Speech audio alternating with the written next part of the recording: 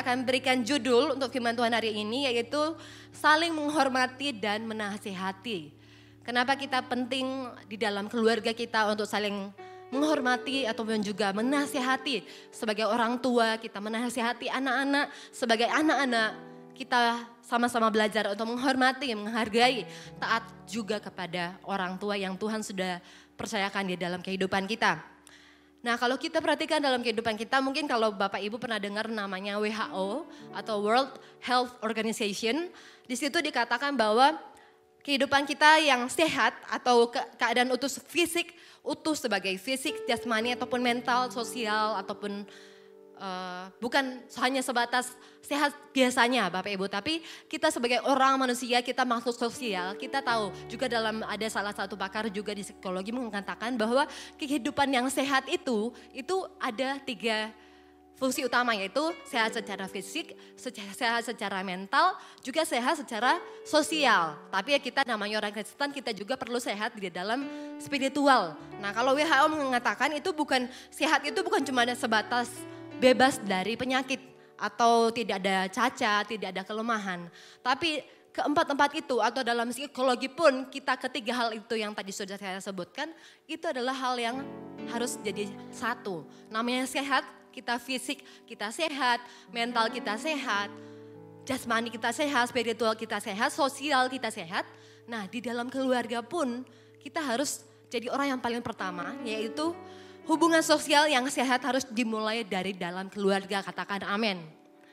Setiap keluarga yang Tuhan sudah percayakan dalam kehidupan Anda semua saat ini, baik Anda yang mungkin hari ini belum menikah, Anda hari ini sebagai seorang anak, ataupun Anda hari ini sebagai seorang orang tua, Anda sudah mempunyai seorang anak, ataupun Anda yang hari ini adalah suami dan istri. Kita sama-sama belajar bahwa kehidupan saling menghormati, saling menasihati itu harus ada dimulai dari dalam keluarga. Kalau kita tidak memulai dari dalam keluarga, bagaimana ke depan nantinya kalau anak kita atau anak Anda ataupun Anda sendiri sebagai orang tua, Anda akan keluar. Anda beraktivitas seperti biasa, Anda akan ketemu dengan berbagai macam orang di luar sana, akan ketemu dengan berbagai macam karakter. Tapi namanya sehat itu bukan cuma hanya sehat secara tadi, mungkin kalau WHO mengatakan sehat keadaan utuh, fisik, jasmani, mental, sosial itu bukan hanya dikatakan sehat kalau oh ya aku sehat secara fisik, aku sehat secara mental, secara sosial. Tapi itu merupakan sebuah kesatuan. Oleh karena itu penting di dalam kehidupan kita sebagai keluarga, baik Anda yang tadi orang tua, anak, suami ataupun istri, sama-sama kita belajar. Hari ini kita akan belajar dari kisahnya Paulus dia menulis di dalam kitab Efesus. Efesus pasal yang ke-6 ayat 1 hingga ayat yang ke-4. Kita akan baca bersama-sama sebentar. Jadi hubungan yang sehat itu ada aspek-aspeknya. Sebagai seorang anak kita harus seperti apa, sebagai seorang tua kita harus seperti apa di dalam keluarga. Sehingga bukan hanya sebatas hubungan biasa di dalam keluarga. Oh iya aku orang tua, aku di rumah sebagai papa, sebagai mama, sebagai anak. Tapi ternyata fungsi kita atau aspek kehidupan yang seharusnya kita tunjukkan tidak ada atau tidak terjadi apa-apa. Nah hari ini sama-sama kita belajar bahwa pemulihan hubungan pun di dalam keluarga itu harus terjadi, katakan amin. Sama-sama kita akan baca ayat firman Tuhan di dalam Efesus 6 ayat 1 sampai yang keempat. Kita akan baca bersama-sama Bapak Ibu Saudara semuanya dari ayat yang pertama. Satu, dua, tiga. Hai anak-anak, taatilah orang tuamu di dalam Tuhan, karena haruslah demikian. Hormatilah ayahmu dan ibumu, ini adalah suatu perintah yang penting, seperti yang nyata dari janji ini, supaya kamu berbahagia dan panjang umurmu di bumi. Dan kamu bapak-bapak, janganlah bangkitkan amarah di dalam hati anak-anakmu, tetapi didiklah mereka di dalam ajaran dan nasihat Tuhan. Katakan amin. Kita tahu bahwa fungsi kita sebagai orang tua, sebagai seorang anak di dalam keluarga, mungkin Anda hari ini ada yang pro-M yang belum menikah, atau Anda yang sudah menjadi orang tua, suami, istri. Bahkan kalau mungkin Anda bisa baca di pasal sebelumnya di dalam Efesus 5 sebelumnya, di situ juga dijelaskan bahwa kasih Kristus itu harus juga dimulai dari suami istri yang ada di rumah orang tua itu penting. Gimana anak-anak nantinya akan meneladani jikalau orang tuanya atau suami istri tidak meneladankan terlebih dahulu. Oleh karena itu kita belajar bersama-sama apa saja aspek kehidupan hubungan yang sehat di dalam keluarga. Karena namanya pemulihan hubungan Tuhan pasti rindukan bahwa setiap keluarga mengalami namanya pemulihan hubungan antara bapak dan anak, anak dan bapak. Sehingga hati bapak kembali kepada anak, hati anak kembali kepada bapak. Katakan amin. Jangan sampai kita sudah di luar, sudah hebat, pelayanan kita sudah sangat luar biasa. Orang melihat kita pelayanan di mana-mana, tapi ternyata di dalam rumah sendiri, di dalam keluarga sendiri, kita tidak menjadi teladan. Mari sama-sama kita akan belajar dari ayat yang pertama, yaitu hai anak-anak taatilah orang tuamu di dalam Tuhan. Kenapa? Aspek yang pertama ini seorang anak belajarlah mentaati orang tua. Sangat penting untuk seorang anak mentaati orang tua. Karena kenapa? Di firman Tuhan dikatakan karena haruslah demikian. Kalau kita perhatikan ada kata taatilah. Kalau kata taatilah di dalam bahasa Yunani, dalam bahasa aslinya itu adalah hupakuo. Berarti mendengar, mendengar di bawah sebuah perintah, taat atau tunduk kepada. Oleh karena itu Anda yang hari ini seorang anak di dalam keluarga. Kita akan bahas dua sisi. Dari ada seorang anak maupun juga ada seorang orang tua. Ataupun Anda yang suami istri pun juga bisa belajar bagaimana menerapkan. Anda pun juga yang Bapak Ibu yang sudah menikah hari ini. Anda pernah menjadi seorang anak pun di dalam keluarga. Bahkan mungkin sampai saat ini Anda masih seorang anak bagi orang tua Anda. Walaupun mungkin saat ini Anda sudah berkeluarga, sudah menikah, sudah punya anak. Tapi Tuhan mau ajari Jangan sampai kita sepelekan namanya saling menghormati, saling menghargai. Ataupun nanti ke depan ketika Anda sudah menjadi orang tua, Anda dipercayakan anak-anak secara biologis dari Tuhan, sama-sama belajar untuk mendidik anak Anda sesuai dengan ajaran dan nasihatnya Tuhan. Tapi nanti kita akan lihat bersama-sama bahwa di dalam didikan, di dalam nasihat, itu pasti ada banyak proses yang mungkin kita alami di dalam kehidupannya kita. Nah proses-proses itu yang nantinya akan membentuk kita. Respon hati kita akan menentukan apakah kita kecewa, apakah kita pahit dengan segala didikan yang ada atau dengan segala mungkin kita sebagai orang tua orang tua melihat bahwa ternyata kok susah ya saya kasih tahu anak saya A B C D tapi dia tidak pernah mendengarkan saya. Bisa aja orang tua mengalami kekecewaan juga. Jadi kita akan belajar sama-sama bahwa Bagaimana kita belajar taat sebagai seorang anak kepada orang tua itu sangat penting. Bahwa firman Tuhan katakan, karena haruslah demikian. Kalau sehat itu bukan cuma kita lihat di luar lingkungan kita, kita mungkin bisa beradaptasi, kita bergaul, punya banyak rekan, kerabat, rekan bisnis atau apa pun itu dalam kerja pekerjaan kita, kita mungkin bisa membangun hubungan. Tapi apakah kita sudah sehat seutuhnya secara pikiran, secara fisik, secara mental, secara spiritual. Atau kita hanya seolah-olah kita keluar memakai topeng, ternyata keluarga kita yang seharusnya kita belajar terlebih dahulu di dalam sebuah rumah, di dalam sebuah keluarga. Itu ternyata mungkin ya kita hanya anggap remeh. Oleh karena itu penting, kata taatilah itu kata untuk mendengar. Kita mendengar di bawah sebuah perintah atau taat, tunduk kepada. Yaitu kepada siapa? Kepada orang tua sebagai seorang anak. Dalam firman Tuhan di, dikatakan. Pertama-tama harus kita perhatikan bahwa perintah itu untuk tunduk kepada orang tua. Tapi kalau kita lihat tunduk kepada orang tua di dalam Efesus 6 ini dikatakan di ayat yang pertama tadi, hai anak-anak taatilah orang tuamu di dalam Tuhan. Ada kata di dalam Tuhan. Gimana nantinya, gimana kalau, if, kalau orang tua kita tidak tinggal di dalam Tuhan atau Anda sebagai orang tua tidak tinggal di dalam Tuhan, bagaimana anak Anda akan mentaati Anda. Kalau Anda sendiri sebagai orang tua, Bapak, Ibu, Saudara, semua yang mungkin sebagai hari ini sudah menikah, sebagai orang tua ada anak, apakah yang Anda akan teladani dalam kehidupan anak-anak Anda? Kalau Anda sendiri tidak hidup di dalam Tuhan, tidak hidup di dalam firman Tuhan, apa yang menjadi kebenaran firman Tuhan, apa yang menjadi teladan-teladan Kristus yang sudah dicatatkan di dalam segala firman Tuhan yang sudah ada. Kita tahu firman Tuhan itu baik. Ada yang mungkin menegur kita, mungkin kita diajari bagaimana kita kehidupan kita dibentuk. Ada banyak hal dalam firman Tuhan.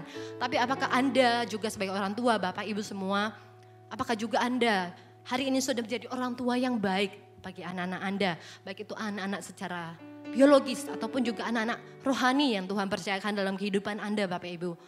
Mari kita lihat bahwa belajar taat itu sangat penting. Bahwa apa pun yang diajarkan orang tua, selagi itu masih sesuai dengan firman Tuhan, mari anak-anak kita, Anda yang masih Pro M ataupun Army of God, masih kuliah atau, atau sekolah Anda hari ini yang ada, lihat bahwa apakah Anda taat dengan sesuatu yang sesuai dengan firman Tuhan, atau Anda taat dengan sesuatu yang bertentangan dengan firman Tuhan. Coba kita renungkan kembali, apakah kita juga sudah meneladankan hal yang baik dalam kehidupan anak-anak kita. Kita perlu lihat, mungkin banyak juga orang tua di sana yang tidak tidak sedikit pun orang tua yang mungkin dalam tanda petik gagal atau anak yang gagal juga mentaati orang tua. Yang seharusnya orang tua itu mungkin contoh teladan pertama yang harus anak seorang anak lihat dan seorang anak ikuti dalam kehidupan mereka dalam rumah. Pertama kali mungkin anak bangun ya mungkin lihatnya orang tua. Bukan mungkin lihat temannya yang di sana banyak banget temannya di luar.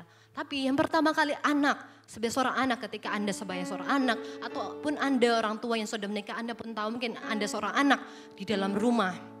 Mungkin ada orang tua Anda juga di sana. Apa yang bisa Anda taati walaupun mungkin kita sudah menikah. Mungkin ada ajaran-ajaran didikan-didikan yang kita juga bisa teladani dari apa yang orang tua sampaikan kepada setiap kita. Karena itu Mungkin kalau anak-anak kita lihat ketika mereka bangun pagi hari, lihatnya mama papanya sudah bertengkar, mama papanya mungkin saling pukul-pukulan atau saling mengeluarkan kata-kata yang membuat anak itu merasa takut atau merasa trauma. Apa yang harus Anda sebagai seorang orang tua lakukan ketika mungkin Anda-Anda melihat wah kok mama mama saya seperti ini ya, kok papa gini ya, kok mama bilang gini ya ke papa. Atau mungkin Anda mendengar kata-kata yang tidak enak. Contoh ya jauhkan ya patahkan. Cerai aja. Apakah itu adalah hal yang enak untuk seorang anak taati ke depan. Kalau anaknya bilang, kalau orang tuanya misalkan bilang, kamu harus mengasihi temanmu, kamu harus mengasihi nenekmu, kamu harus mengasihi sahabatmu, gini-gini. Walaupun mungkin sahabat Anda sudah mengecewakan sebagainya. Tapi ketika anak mau mentaati hal tersebut, apa yang orang tua ajarkan, tapi orang tua sendiri tidak melakukan atau meneladankan apa yang dia katakan. Mungkin dia bilang mengasihi, tapi ternyata orang tuanya tidak menunjukkan perilaku mengasihi itu. Terutama mungkin ayah mengasihi kepada istri, eh, kepada mamanya, atau sebaliknya. Apakah hubungan itu akan terjalin dengan baik atau enggak?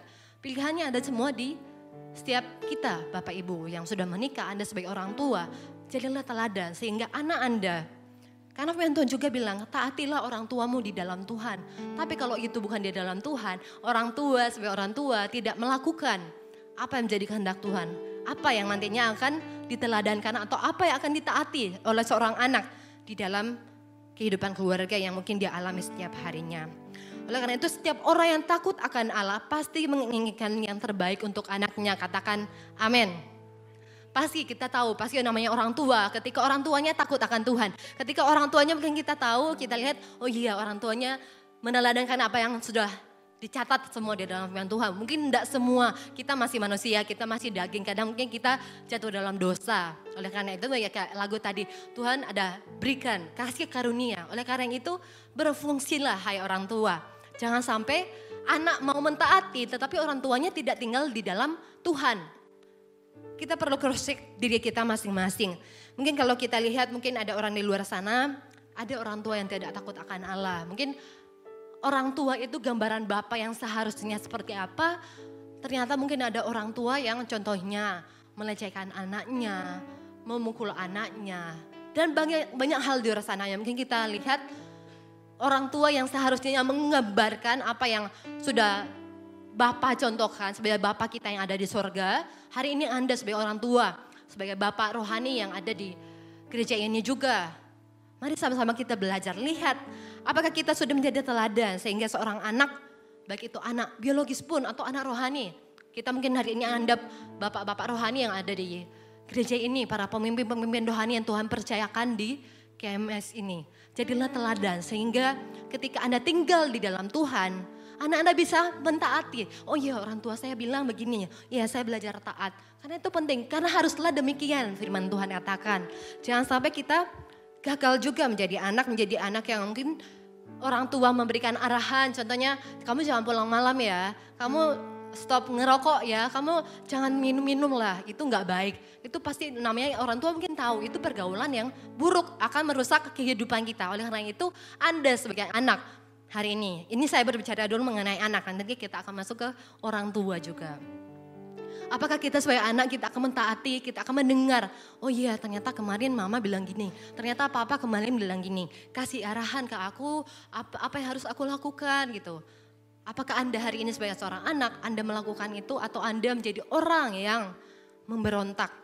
Anda menjadi seorang yang menolak apa yang menjadi arahan atau didikan orang tua.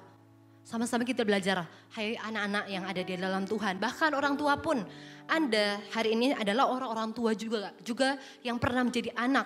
Atau Anda hari ini adalah seorang anak di dalam Kristus. Jadi sama-sama jangan gagal juga apa jangan gagal jadi seorang anak walaupun kalau saya pun mau bilang sedikit kesaksian dari dalam kehidupan saya ya mungkin saya pernah alami saya merasa mungkin saya dulu pernah menjadi seorang anak yang gagal. Kenapa? Karena orang tua bilang, ah saya mungkin sering melawan. Saya kalau orang sini bilang, saya jawabi gitu. Saya menjawabi apa yang mungkin mama atau papa bilang. Kadang kalau saya mau flashback mengingat kembali, apa yang sudah mungkin dulu waktu zaman-zaman masih SMP, masih SMA, kenal Tuhan, kenal Tuhan. Tapi mungkin saya belum sepenuhnya mentaati orang tua saya. Oleh karena itu mungkin saya pernah ada rasa di mana titik saya pahit sama orang tua, saya kecewa sama orang tua karena mungkin saya tidak dengar apa yang orang tua sampaikan, saya tidak betul-betul mentaati orang tua. Padahal saya mungkin tahu pada waktu itu, oh iya ternyata ini sesuai dengan firman orang tua mengajarkan kepada saya untuk saya supaya saya bertumbuh. Tapi ternyata saya menolak itu. Saya menjadi pribadi yang memberontak. Ada roh pemberontakan dalam hati kita. Oleh karena itu, hai para anak-anak, sama-sama kita belajar. Jangan sampai kita menolak juga setiap arahan dari orang tua. Tapi firman Tuhan bilang, taatilah orang tuamu. Nah selanjutnya, kita lihat ayat yang kedua, hormatilah ayahmu dan ibumu. Ini adalah suatu perintah yang penting seperti yang nyata dari janji ini. Supaya kamu berbahagia dan panjang umurmu di bumi. Kalau kita lihat yang kedua itu, kenapa sih kita juga penting untuk kita belajar menjadi seorang anak yang berfungsi di dalam keluarga. Kita harus menghormati ayah dan ibu kita. Karena itu adalah suatu perintah yang penting. Katakan suatu perintah yang penting. Ini firman Tuhan yang tulis, yang sampaikan. Bukan hanya manusia, memang manusia, Paulus mungkin menulis. Tetapi kita belajar bahwa tujuan juga Paulus menulis, menulis kitab Efesus ini supaya dia rindu melihat setiap orang-orang dipulihkan, setiap orang mengalami bahwa kasih Tuhan itu nyata. Ada namanya yang dialami oleh setiap orang yang membaca firman Tuhan ini. Sehingga sama-sama juga ada hikmat, bahwa hikmat ini kita harus terapkan juga dalam kehidupan kita. Bang, menghormati ayah dan ibumu adalah suatu perintah yang penting, hai anak-anak. Sama-sama kita belajar bahwa menghormati, belajar mendengarkan apa yang menjadi arahan dari orang tua. Walaupun mungkin tidak mudah sebagai seorang tua, firman Tuhan berkata bahwa itu adalah suatu perintah yang penting. Kalau kita lihat mungkin zaman sekarang mungkin banyak orang tua dan anak itu terdapat gap atau jarak. Ada jarak antara orang tua dan anak. Kenapa? Mungkin sekarang kalau kita perhatikan teknologi semakin berkembang, banyak gadget, alat-alat canggih, apa semua. Sehingga anak ketika orang tua bilang, ah ayo kita lakukan ini. Ayo nak kamu gini, kamu baca firman Tuhan. Ayo nak kamu ke gereja, jangan cuma fokus kepada pekerjaanmu. Carilah Tuhan juga. Maka kamu juga akan mendapatkan segalanya sesuatu yang Tuhan akan tambahkan dalam kehidupanmu. Kalau kita perhatikan, menjadi seorang anak itu juga ada tugasnya kita. Jangan kita anggap remeh, oh aku hari ini hanya seorang anak kok, aku mungkin belum terlalu gimana-gimana. Yang penting aku sudah bekerja, aku sudah dapat uang atau apa. Jangan. Tapi lihat, hormatilah ayah dan ibumu. Kalau kita perhatikan mungkin ada contoh-contoh zaman anak zaman sekarang karena tad, kenapa tadi ada gap-gapan? Karena anak sekarang mungkin merasa dirinya mereka tidak nyambung dengan orang tua. Mungkin ada di antara Anda orang tuanya mungkin sudah lumayan berusia. Sehingga Anda mungkin merasa kayak, ah ngapain sih orang tua. Jangan jadi anak yang pembangkang gitu. Jangan jadi anak yang suka memberontak kayak tadi. Atau suka malah menolak apa yang menjadi didikan atau arahan orang tua. Tapi hormatilah orang tua Anda. Walaupun orang tua Anda, Anda hari ini mungkin sebagai orang tua, Anda mungkin kalau orang bilang, ah Anda sudah kuno, Anda sudah jadul, gak ngerti teknologi yang ada. Mungkin anak-anak sekarang mungkin bisa aja. Bisa, bisa aja bilang kayak kenapa orang tuaku kan enggak paham. Yang penting ya udahlah atau misalkan orang tuanya butuh ngobrol apa tapi Anda malah fokus dengan gadget Anda, dengan handphone Anda sehingga Anda mengabaikan apa yang orang tua Anda sedang sampaikan atau sedang bicarakan dengan Anda. Hari ini belajar, jangan sampai kita malah jadi orang atau jadi anak yang tidak, bisa menghormati orang tua. Karena belajar, orang tua itu juga sebagai wakil Allah di, di dunia ini untuk mendidik kita, member, memberikan nasihat. Belajarlah untuk menghormati sebagai seorang anak. Dan seorang sebagai seorang tua juga belajar sama-sama anak menghargai orang tua, orang tua menghargai anak. Bukan berarti juga mungkin orang bilang, ah ada anak bilang mungkin, ah mama papa kan udah tua, ya udahlah aku udah usah terlalu kalau ditanya ya sudah jawab seadanya. Jangan karena kita tidak pernah tahu umur orang tua kita, usia orang tua kita sampai umur berapa kita tidak akan pernah tahu. Jangan sampai kita menyesal, menyesal dalam kehidupan kita karena mungkin kita belum menghormati orang tua, belum taat kepada orang tua. Belajar sama-sama bahwa orang tua itu juga ketika Tuhan menetap, menetapkan Anda di dalam sebuah keluarga itu ada sebuah tujuan spesifik juga yang akan Tuhan kerjakan dalam kehidupan Anda semua. Hai para anak dan juga hai para orang tua sama-sama mengertilah. Ketika anak-anak Anda mungkin susah dikasih tahu, coba ajak ngobrol dulu berdua. Doakan anak Anda. Apakah Anda juga masih sebagai orang tua, sebagai suami atau istri, masih mendoakan satu sama lain, masih mendoakan anggota keluarga Anda. Jangan sampai Anda cuma mendoakan Tuhan, aku rindu supaya pekerjaanku, bisnisku semua diberkati diperlebar. Tapi ternyata Anda tidak pernah berdoa mungkin untuk anak-anak Anda. Ketika mungkin Anda tahu anak-anak anak Anda tuh cukup keras. Karakternya mungkin cukup keras. Karena mungkin banyak orang zaman sekarang, apalagi anak modern zaman sekarang, sekarang generasi sehat, generasi strawberry yang mudah sensitif, yang mudah lembek. Kalau orang bilang kita masuk generasi yang yang lahir setelah tahun 1990 itu tuh orang-orang yang termasuk generasi strawberry. Kenapa disebut strawberry? Karena lembek, lembek, mudah sensitif, tidak tahan tekanan, tidak tahan dengan apa yang lingkungan berikan.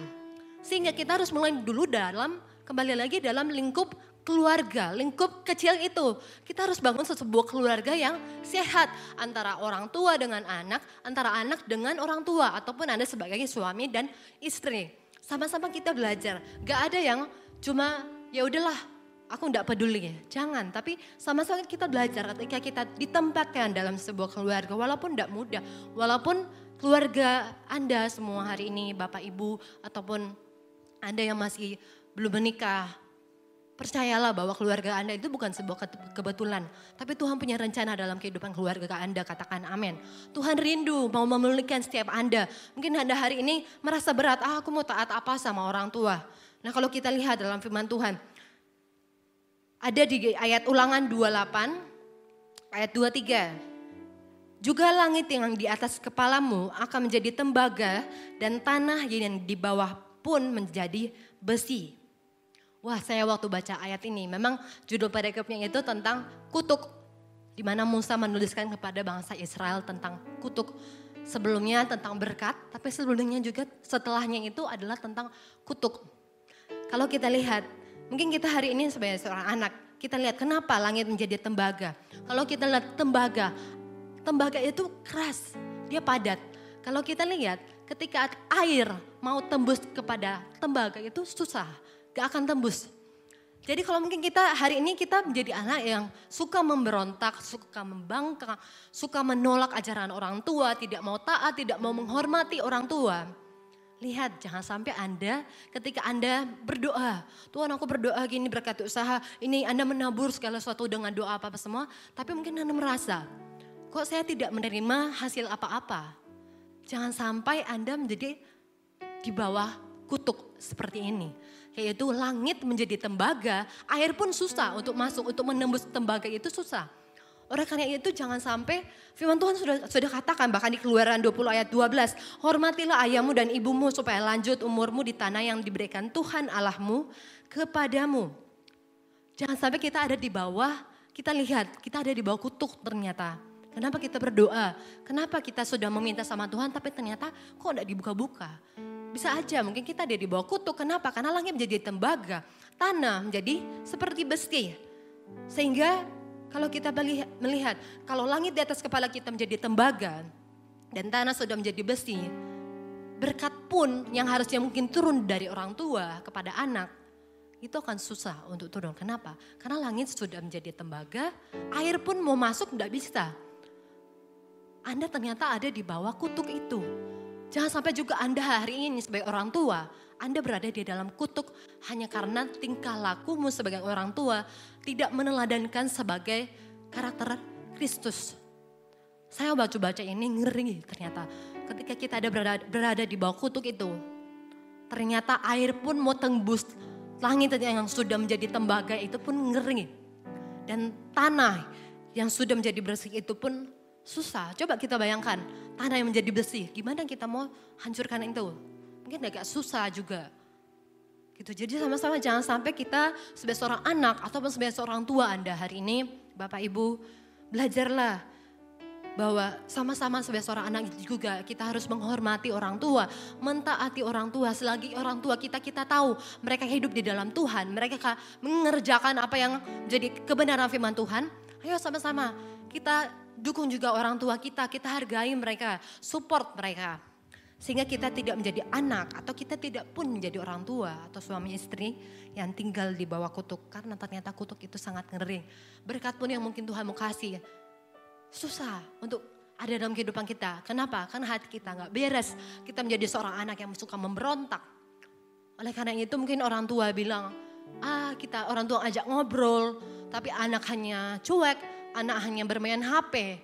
Ayo sama-sama kita lihat. Bagaimana ternyata pentingnya untuk kita melihat bahwa ketika perintah yang penting itu ada janji Tuhan di balik itu. Katakan ada janji Tuhan di balik perintah. Perintah apa? Perintah hormatilah ayahmu dan ibumu. Karena firman Tuhan yang bilang, karena itu adalah suatu perintah yang penting. Supaya apa? Supaya kamu berbahagia dan panjang umurmu di bumi, hai anak-anak. Kenapa? Karena kita juga pasti setiap kita pasti rindu untuk kita mendapat usia yang panjang umur. Kita bukan cuma sebatas oh iya aku enggak tahu mati kapan ya udahlah terserah. Jangan. Tapi jangan sisakan hidupmu juga. Hai anak-anak gitu. Sama-sama belajar bahwa ketika orang tua memberikan didikan juga, kita belajar hormati, kita belajar taat walaupun tidak mudah ya, walaupun mungkin firman seperti ini, ini mungkin banyak orang yang menganggap remeh. Tapi ini adalah hal penting. Dimulai segala sesuatu hubungan yang sehat. Kehidupan sosial kita semua akan dimulai dari keluarga. Siapa yang mau ajari kalau di dalam keluarga kita tidak belajar mentaati orang tua, hormat kepada orang tua, ataupun nantinya kita sebagai orang tua kita tidak memberikan didikan kepada anak kita. Oleh karena itu perintah yang penting ini kenapa penting supaya hati Bapak juga kembali kepada anak, anak kembali kepada Bapak sama-sama berkat itu juga turun atas kehidupan anak juga melalui orang tua, melalui apa yang mungkin Tuhan sudah tetapkan lewat kehidupan orang tua, atas kehidupan anak-anaknya. Hati Bapak itu selalu penuh dengan kasih. Jadi kalau kita lihat apa pun keadaan anaknya, walaupun anaknya mungkin sudah sudah jatuh dalam dosa, dalam narkoba, minuman keras, seks bebas, atau apa pun itu, sama sama juga orang tua, Anda sebagai orang tua Kasihi juga, jangan sampai malahan orang orang tua tidak meneladankan itu jauh dari dos, jauh dari firman Tuhan sehingga pemahaman mungkin apa yang menjadi gap-gapan itu yang membuat ada gap itu itu mungkin orang tua bisa lihat juga. Kalau kayak tadi mungkin orang tuanya merasa saya susah untuk ngobrol sama anak atau apa. Coba ajak heart to misalnya heart to heart itu dalam artian kita sebagai orang tua ajak ngobrol baik-baik kamu sebenarnya maunya seperti apa? Mungkin sekarang kita tahu anak juga punya kalau kita lihat mungkin ada uh, apa aturan-aturan dalam keluarga. Ada mungkin orang tua masih sampai usia berapa dia masih memutuskan. Tapi ada juga yang ya saya kembalikan kepada anak tapi saya akan tetap awasi, bimbing, kasih arahan kepada anak. Kita bisa komunikasikan. Zaman sekarang zaman yang istilahnya kita lebih enak untuk ngobrol sama anak tapi jangan sampai sebagai anak karena sudah sudah tahu terlalu banyak tentang teknologi, gadget dan sebagainya akhirnya mengabaikan apa yang menjadi arahan atau perintah dari orang tua juga. Nah, yang ketiga, sekarang kita masuk kepada orang tua. Ayat yang keempat. Dan kamu bapak-bapak janganlah bangkitkan amarah di dalam hati anak-anakmu, tetapi didiklah mereka di dalam ajaran dan nasihat Tuhan. Bapak-bapak di situ itu untuk kita semua yang orang tua, termasuk ayah, ibu, atau Anda yang suami istri juga. Sama-sama kita belajar juga bahwa orang tua didiklah anak dalam ajaran dan nasihat Tuhan.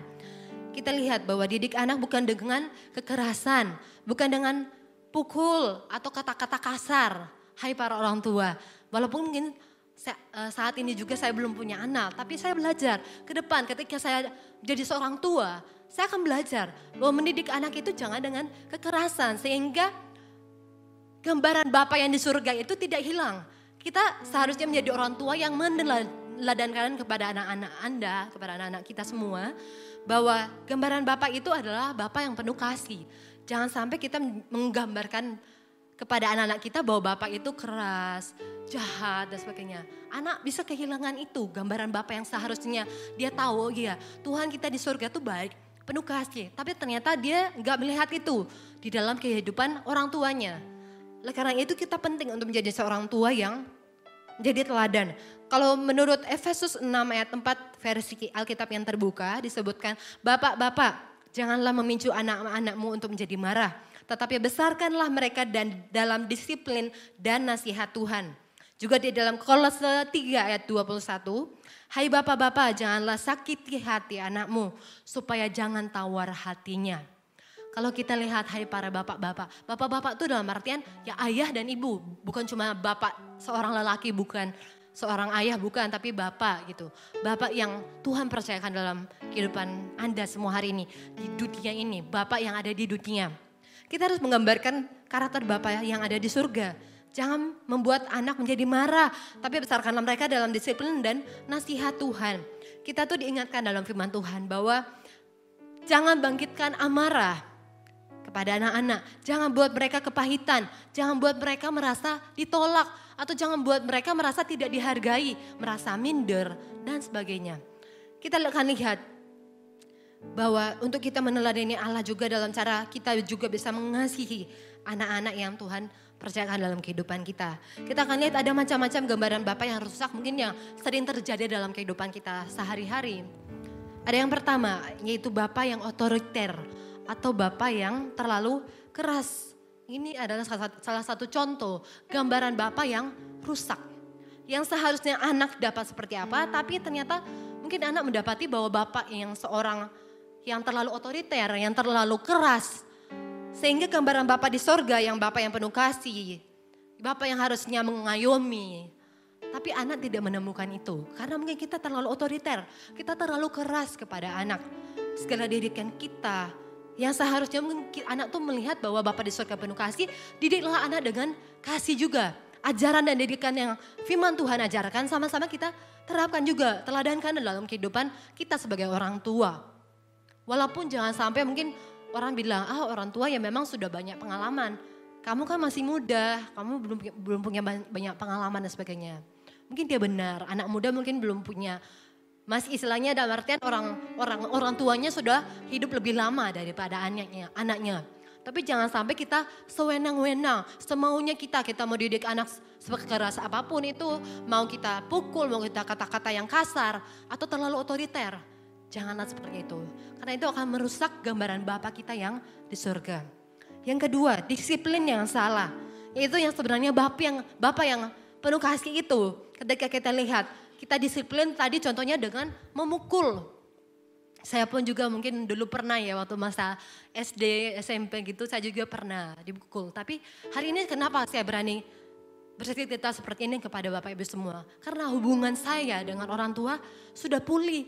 Saya nggak ada lagi akar, akar kepahitan dengan orang tua. Walaupun mungkin saya juga cukup dulu dididik dengan sikap, sikap yang keras. Dengan didikan yang mungkin Toto, toto, gini, kalau orang tua bilang A, saya harus ikuti A.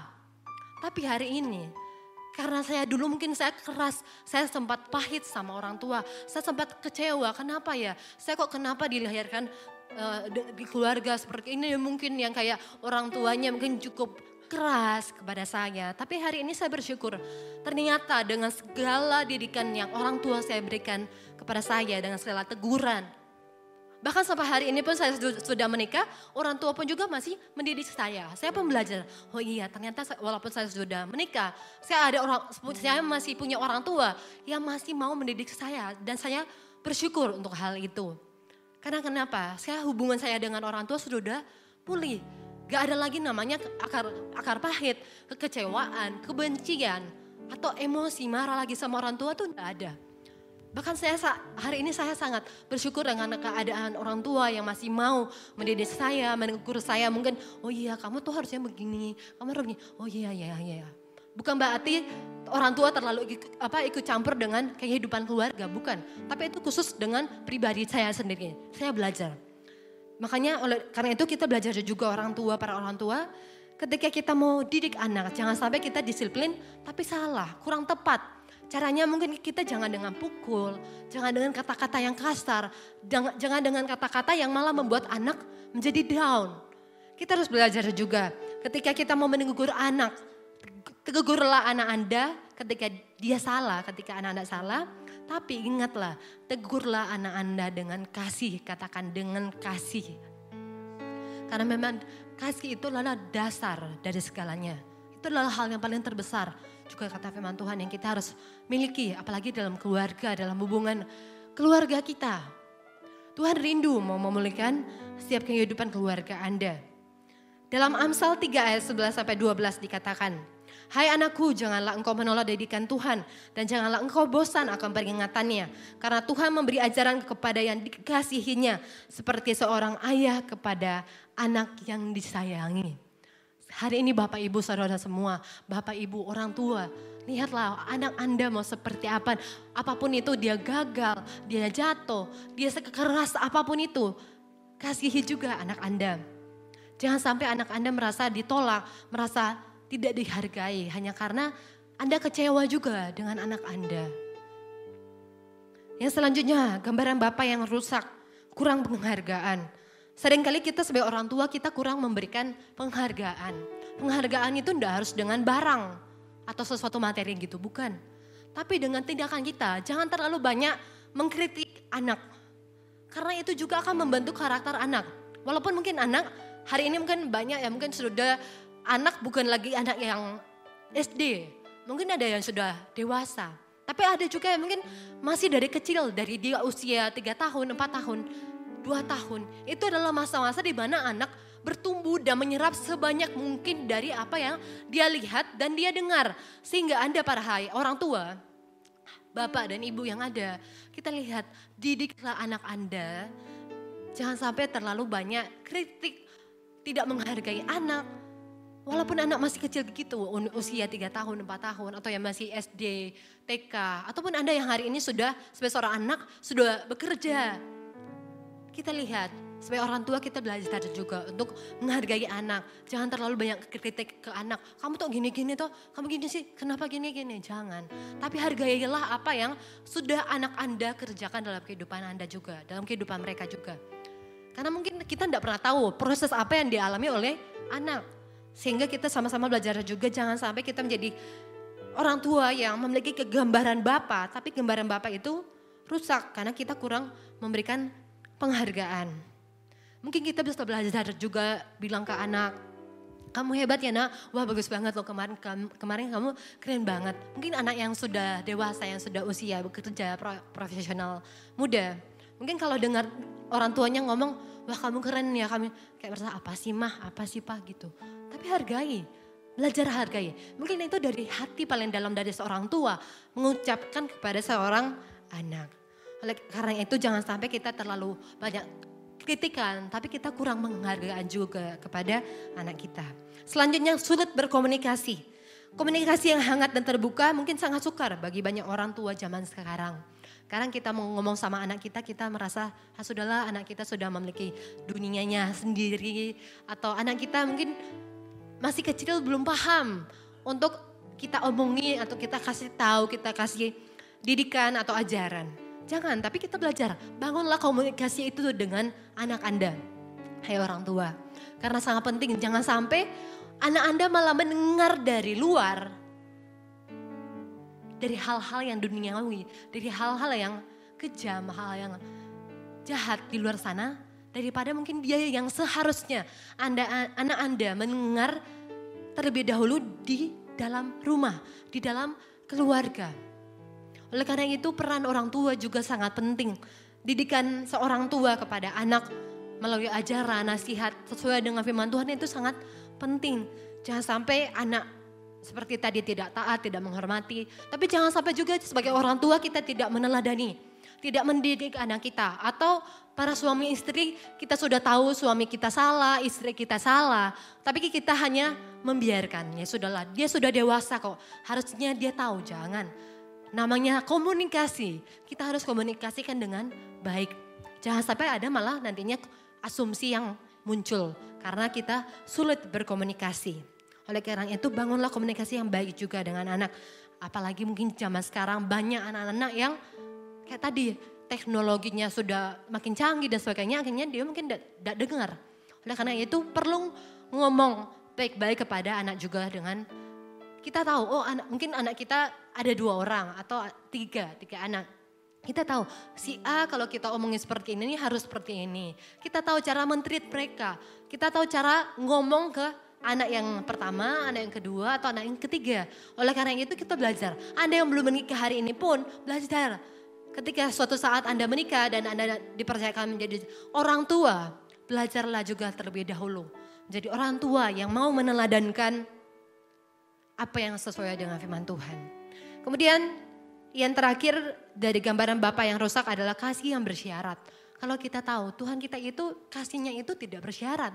Tapi kadang sebagai bapak yang ada di dunia, sebagai orang tua yang ada di dunia, kadang kita memiliki namanya kasih yang bersyarat. Dalam artian mungkin ya kita mengasihi anak itu dengan asalkan dia. Nah mentalitas asalkan itu tidak boleh ada dalam diri kita. Sebagai orang Kristen, kita harus mengasihi orang lain sesuai kasih Tuhan. Tuhan mengasihi kita apa adanya, kita juga mengasihi orang lain, mengasihi anak kita apa adanya. Bukan dengan kasih yang bersyarat. Aku mau mengasihi dia kalau asalkan dia mau minta maaf duluan sama aku. Kalau dia tidak mau minta maaf duluan ya sudah, biarin aku tidak peduli. Jangan Bapak Ibu. Sebagai orang tua atau sebagai anak, Anda hari ini sebagai seorang anak, Perhatikan bahwa jangan sampai kita memiliki mentalitas kasih yang bersyarat. Padahal Tuhan sendiri sudah bilang, Tuhan sendiri bilang dalam Yohanes 3 ayat 16 ayat yang sangat uh, terkenal yang sangat kita sering dengar ya. Karena begitu besar kasih Allah akan dunia ini. Sehingga ia telah mengaruniakan anaknya yang tunggal. Supaya setiap orang yang percaya kepadanya tidak binasa. Melainkan beroleh hidup yang kekal. Oleh karena itu, karena Tuhan sudah mengasihi kita, Tuhan memberikan anaknya yang tunggal buat kita untuk mengasihi. Oleh karena kita, oleh karena itu jangan sampai kita juga menjadi orang tua atau menjadi anak yang gagal dalam mengasihi orang lain. Anak jangan gagal mengasihi orang tua, orang tua jangan gagal mengasihi anak Anda. Mau seburuk apa pun orang tua Anda, seburuk apa pun anak Anda, seburuk apa pun suami atau istri Anda, belajar jangan sampai kasih bersyarat bersyarat. Bukan. Karena Tuhan mengajarkan Tuhan saja dia memberikan kasih itu tanpa syarat. Oleh karena itu sama-sama belajar. Tuhan rindu untuk memulihkan setiap kita. Seberapa sering hari ini pertanyaan buat Anda semua. Seberapa, seberapa sering Anda sebagai orang tua hari ini sering menyakiti hati anak Anda? Atau seberapa sering Anda sebagai seorang anak sering menyakiti hati orang tua Anda? Mari sama-sama kita renungkan kembali. Apa yang harus kita benahi, apa yang harus kita ubah. Sehingga kita menjadi seorang anak yang belajar mentaati orang tua, menghormati orang tua. Kita juga menjadi orang tua yang mau mendidik anak dengan ajaran dengan ajaran dan kasihnya Tuhan. Bukan dengan ajaran yang keras, yang sehingga gambaran Bapa yang ada di surga itu tidak ditemukan oleh anak dalam kehidupan Anda sebagai orang tua. Oleh karena itu sama-sama belajar, didiklah anak-anak Anda sebagaimana mereka seharusnya. Tetapi pastikan bahwa Anda telah membeli, memberi teladan terlebih dahulu kepada anak Anda. Dan juga anak jangan gagal untuk menjadi anak. Walaupun mungkin saya ya, saya juga sama. Saya juga dulu mungkin pernah menjadi seorang anak yang gagal mentaati orang tua atau gagal menghormati orang tua. Tapi saya belajar banyak proses yang mungkin saya alami. Mungkin saya dulu pernah kecewa Saya pernah kepahitan. Tapi saya belajar Tuhan, saya tidak mau hubungan keluarga saya yang seharusnya menjadi titik utama saya menjadi awal di mana saya harus meneladani sebelum saya keluar kepada lingkungan sosial yang ada. Oleh karena hubung, oleh karena itu hubungan sosial yang ada itu yang sehat itu harus dimulai dari dalam keluarga kita sama-sama. Oleh karena itu, gambaran Bapak yang rusak mungkin akan mungkin ya banyak kayak tadi menimbulkan banyak kekecewaan, kepahitan, akar pahit sehingga hubungan Bapak dan anak itu menjadi jauh, menjadi rusak. Anak dan Bapak rusak, Bapak dan anak rusak. Sehingga dalam keluarga kalau kita mungkin anak Anda pulang kerja, pulang dari sekolah, pulang ke rumah tuh kayak tidak damai. Atau Anda sebagai orang tua pulang ke rumah melihat Anda, melihat anak Anda merasa kayak wah anak ini lagi, anak ini lagi. Jangan sampai seperti itu. Tuhan tidak mau melihat bahwa keluarga Anda hancur hanya karena satu asumsi, hanya karena orang tua memberikan didikan tapi anak salah merespon atau anak tidak taat kepada orang tua sehingga orang tua akhirnya ah sudah saya menyerah, saya udah nggak mau lagi. Didik anak ini, anak ini sangat keras kepala. Jangan, tapi sama-sama kita usahakan bahwa hubungan di dalam keluarga kita harus sehat. Karena Tuhan juga rindu untuk memulihkan setiap keluarga Anda semua. Katakan amin. Sebab itu ada tiga aplikasi sederhana yang akan kita terapkan dalam kehidupan kita. Yang pertama, jangan memberontak. Taatilah orang tuamu di dalam Tuhan. Yang kedua, Hormatilah orang tuamu karena ada janji Tuhan di balik perintah itu. Kalau kita lihat ya, kalau dalam orang tua ketika kita menghormati ternyata firman Tuhan tulis itu adalah suatu hal, suatu perintah yang penting. Dan di balik itu ada janji yang nyata, kata firman Tuhan. Ketika kita sebagai seorang anak kita belajar untuk mentaati, menghormati orang tua. Dan sebagai orang tua, aplikasi yang ketiga, didiklah anak dengan kasih sesuai dengan ajaran dan nasihat Tuhan kita sesuai dengan firman. Oleh karena itu jangan gagal juga menjadi seorang anak, tapi jangan gagal juga menjadi seorang tua. Orang tua yang memberikan teladan. Teladan Kristus itu sangat penting. Apabila hari ini Anda mungkin yang kecewa, sebagai seorang anak Anda kecewa, mari sama-sama benahi. Berikan pengampunan itu. Sehingga Tuhan juga rindu untuk memulihkan keluarga Anda semua. Peran Roh Kudus itu sangat penting dalam kehidupan keluarga kita. Ketika Anda dalam keluarga sebagai orang tua atau anak, Anda tidak pernah berdoa, Anda tidak pernah mengundang pribadi Roh Kudus untuk datang dan hadir dalam kehidupan keluarga Anda, bagaimana Anda mau meneladankan sesuatu hal yang baik, yang benar sesuai dengan firman Tuhan. Kalau Anda sendiri tidak mau dituntun oleh Roh Kudus, Anda tidak mau mengundang pribadi Roh Kudus, Tuhan, Roh Kudus aku minta Engkau datang di hatiku, Engkau datang di dalam keluargaku. Aku rindu supaya pemulihan itu terjadi.